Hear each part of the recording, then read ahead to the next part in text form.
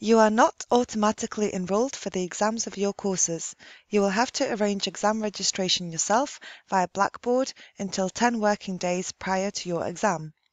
On Blackboard, click on Deregister and check Written Exams in the My Study Facilities module. You now find an overview of all the written exams that you will have to take. You can register for the respective exams by ticking the box in the column Deregister. Once it's open for registration, a tick box will be available.